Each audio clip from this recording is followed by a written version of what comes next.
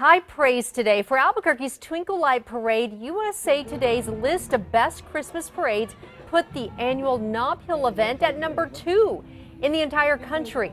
It even topped the Macy's Thanksgiving Day Parade and the parade in Disney World. I think it's something that so many of us locals know and believe how amazing Albuquerque is and how capable we are of so many high level opportunities. And it just allows the rest of the country now to see and believe what us Albuquerqueans already know. We're awesome. The town parade is the Eastport Yacht Club Lights Parade in Maryland.